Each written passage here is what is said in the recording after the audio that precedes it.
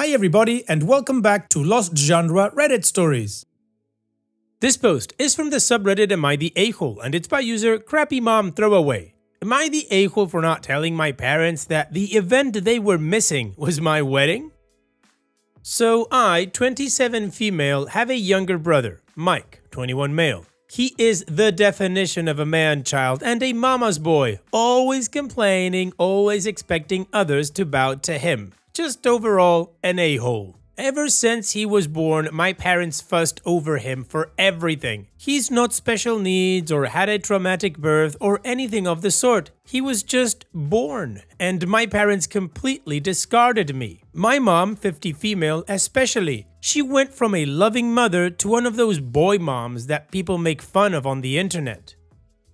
My father, 50 male, still showed me love and support, but he's always been too much of a coward to stand up to my mother and let me win at least once. The only one who stood for me was my grandpa, 76 male, who always called my parents out on their BS and never liked my brother. I remind him of his late wife, my grandma, and we have a very special bond. But he lives on the other side of the country and I could never see him often.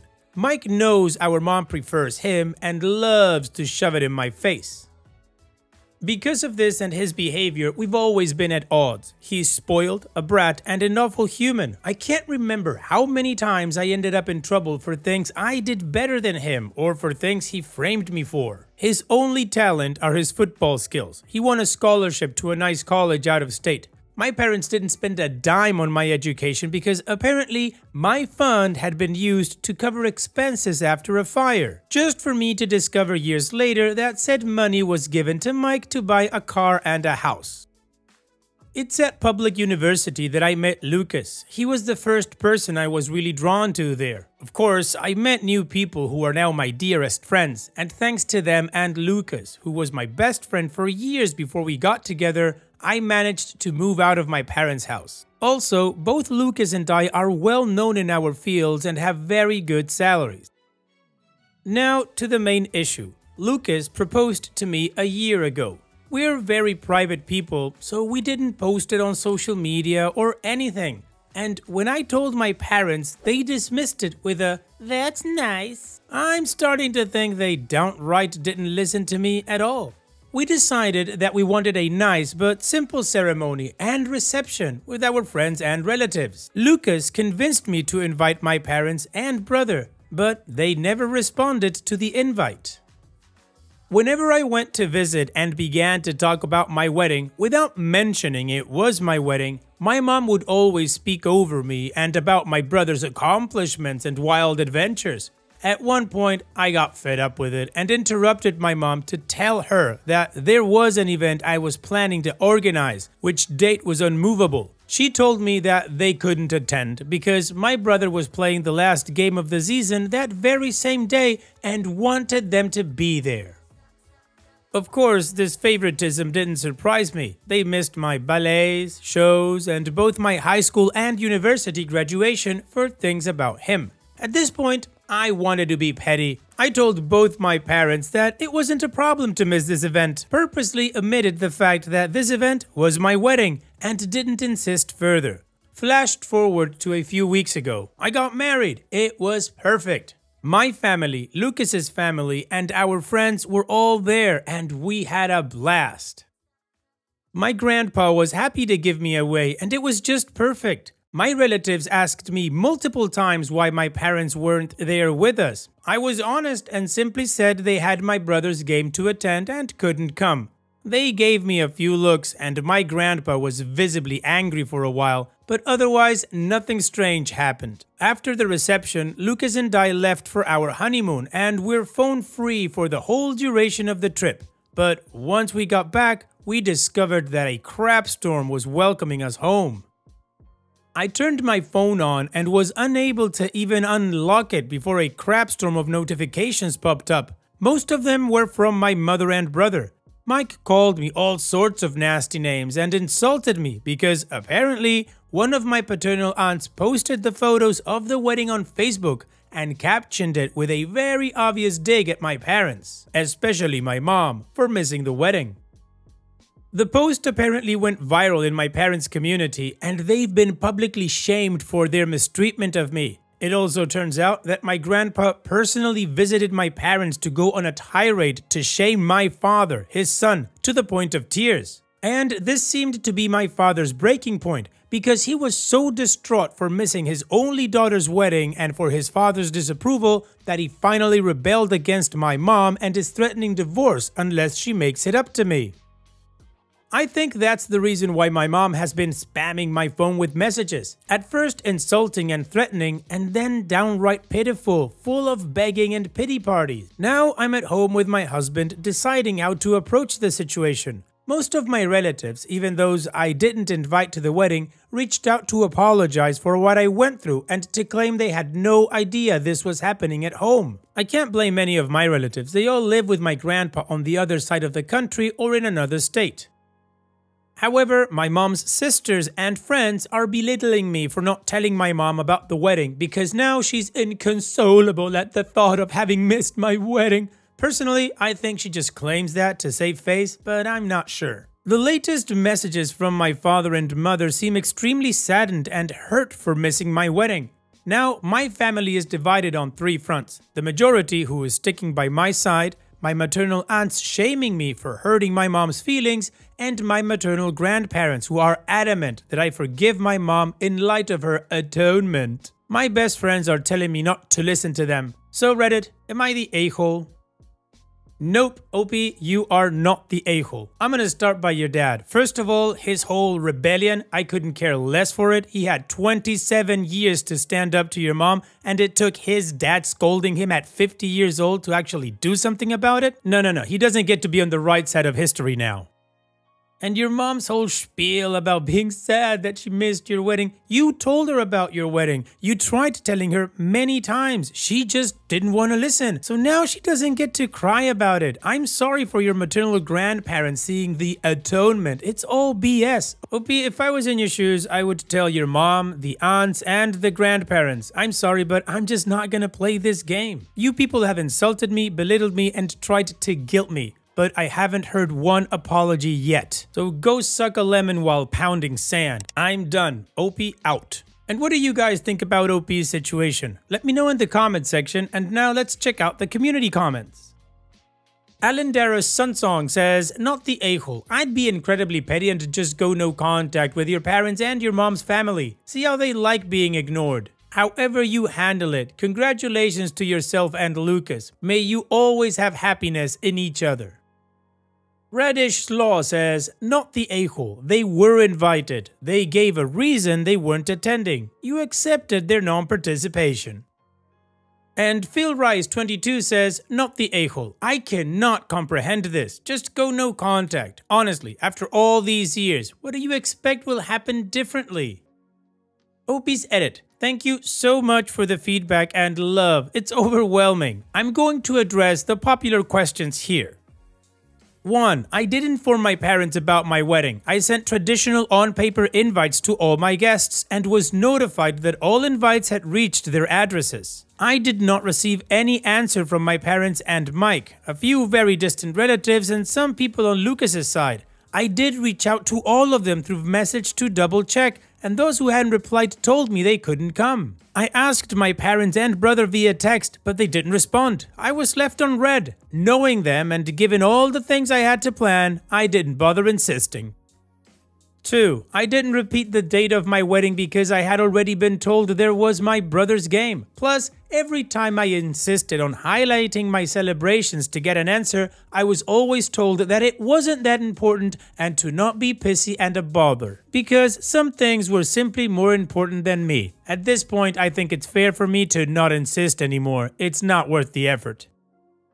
3. I didn't keep my wedding a secret. I avoided telling my parents that it was my wedding to see if they would be interested in the slightest, but surprise, surprise, they weren't. Despite this, I did openly talk about my wedding with my aunts and uncles. My mother was in the room with us a few times when I discussed venues or dress shops with my aunt, the Facebook post one.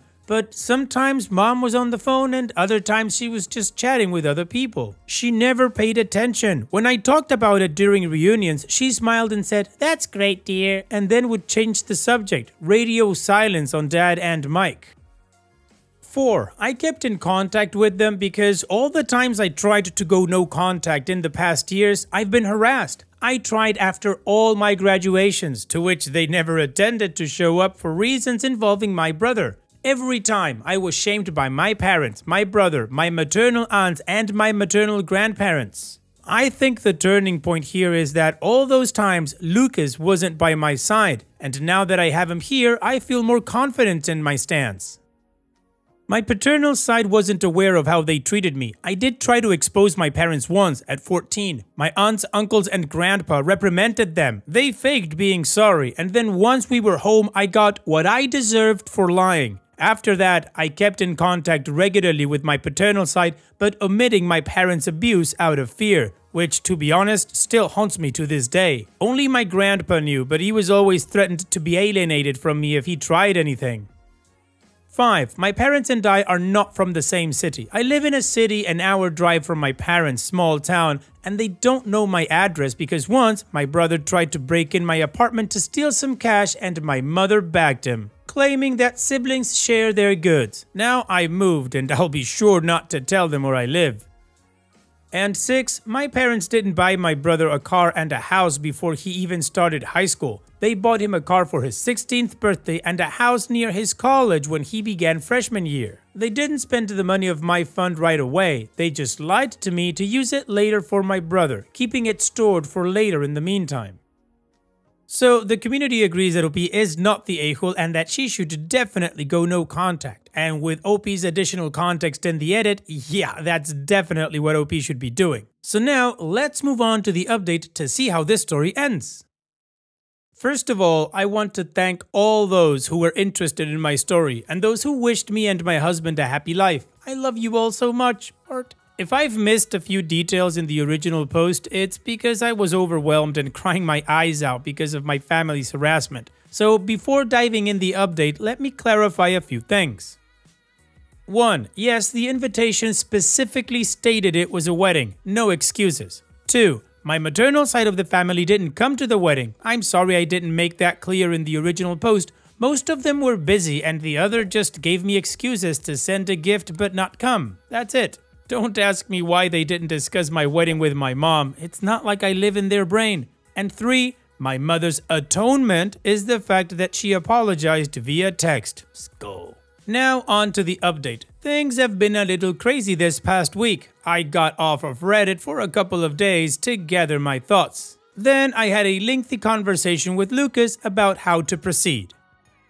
He's been my rock, and I don't think I could ever love him more than I already do. My parents were always a taboo topic, but he hit me with a brutal reality check that I absolutely needed. We reached the conclusion that the fact I kept in contact all this time, stuck around and couldn't go no contact isn't healthy. I've realized that the reason I never fully went no contact was that deep down I just wanted their approval, even now, for once. Pathetic, I know, but it's like a drug being with my parents.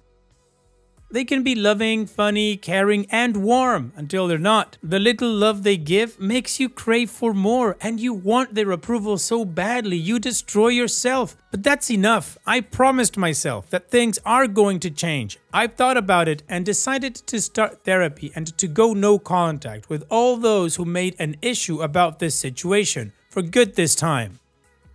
After the days dedicated on reflecting on how I feel, I ended up messaging my father to tell him that if he wanted to talk, I would meet him, mom, and Mike in a neutral location the following day. He immediately replied and agreed, and we met at the park. My father's sisters and brother accompanied us for damage control. My father looked distraught, as if he had been crying for a while. My mom looked the same, but I think it was more out of anger and embarrassment. My brother looked annoyed.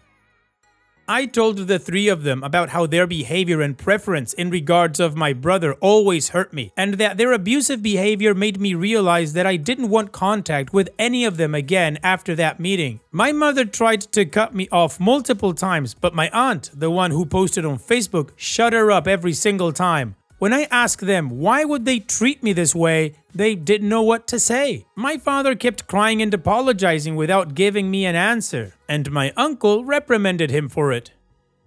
My mother seemed as if she was asking herself that for the first time, but well, in the end, she just said that she simply disliked me, plain and simple. And my brother, he just liked the attention and making me miserable as some kind of sport. I went on with my questions. When I asked why they never responded to my invite, they claimed they had never received one. I showed them the texts and they denied receiving them, and well, it turns out they hadn't, in fact, received my wedding invitation.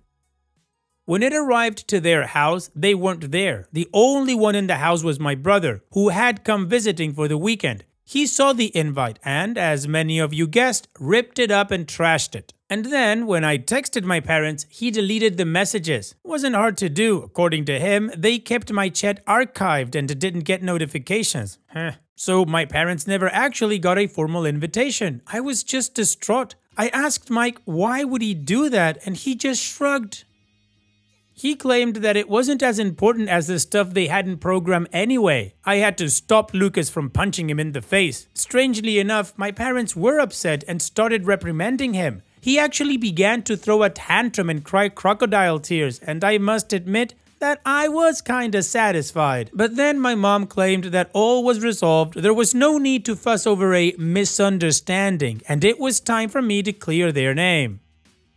That set me off, and I interrupted her, telling her that they weren't forgiven at all, that just because Mike trashed the invite, it didn't mean it automatically cancelled or their neglect out. Plus, all that time, it was still very obvious that I was having a wedding and they should have asked about it. You want to know my mother's response? She said something along the lines of, I did hear you talking about a wedding of yours, but I just thought you were being delusional and seeking my attention with exaggerated scenarios. She was convinced Lucas didn't actually like me, nor would ever marry me. When I tell you I was about to trash her face, do you believe me?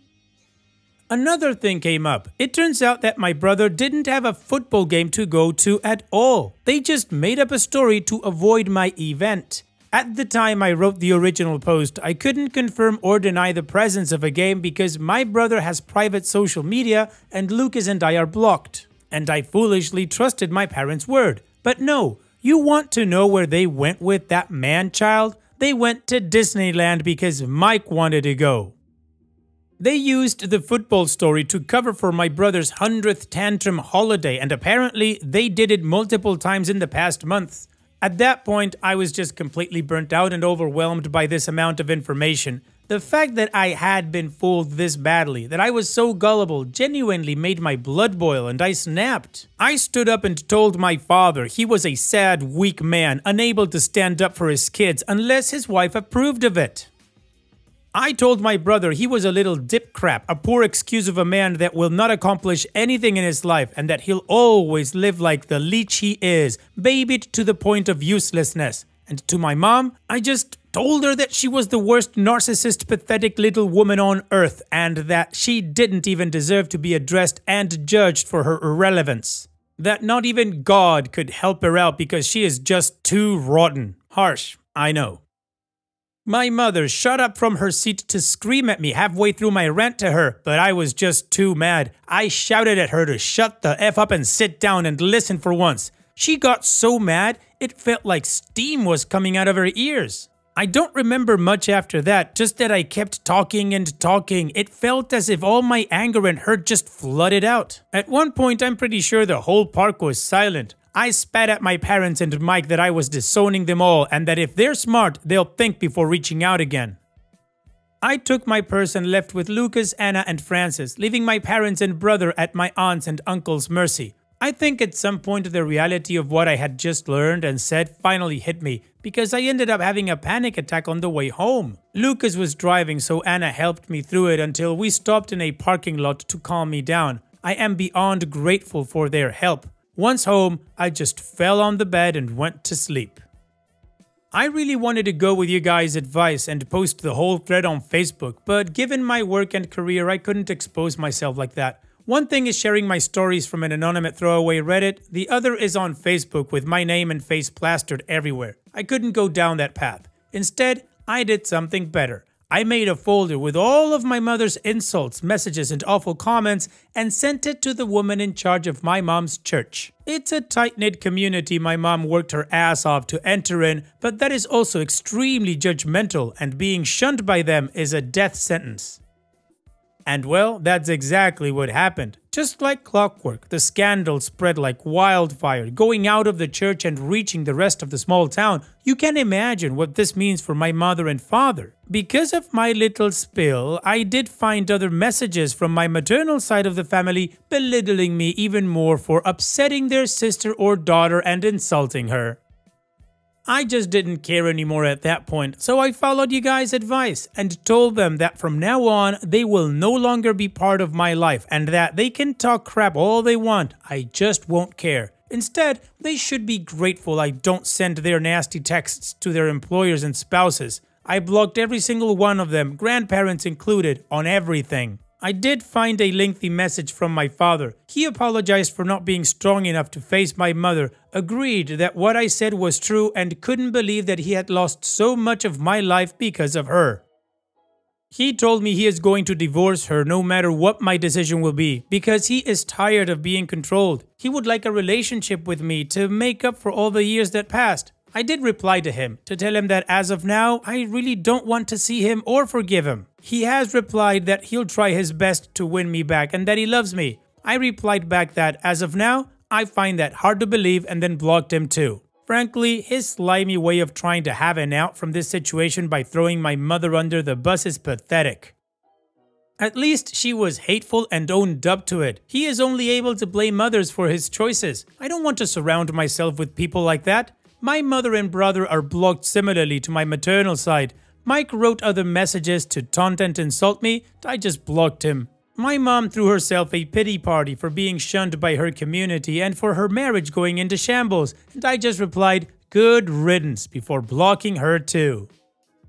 As for my grandpa, he has decided to stay with us for a while, to stick by my side. He really is the best and has read some of your comments. He isn't going to admit that he's flattered by them. Since then, a few days have passed and all has been quiet. Lucas is spoiling me rotten and I'm starting therapy soon. I know this isn't the drama-filled, revengeful update you hoped for, but well, this is it. Thank you so much for the love and support you showed me. I think I'm going to log out now. As for now, goodbye. Well, OP, it might not have been drama filled as you say, but it was satisfying ass F to see how your spine shone the whole time. Disowning your parents, telling your brother what a piece of crap he is, exposing your mom, and calling out your dad for what he's trying to do? Good for you, OP. And I have to say, your grandpa is awesome. It's great to know that you have him in your life, and Lucas as well. So, on that note, here's wishing you the best in the future, OP. Thanks so much for sharing and take care. And that's it for today's video. Thank you so much for taking the time to watch it. Now, if you've gotten to this point in the video, I assume that you like these stories that I'm reading out, so here are a couple more that you might enjoy. And if you don't have any time to watch another story right now, save it for later, and also, don't forget to hit that subscribe button.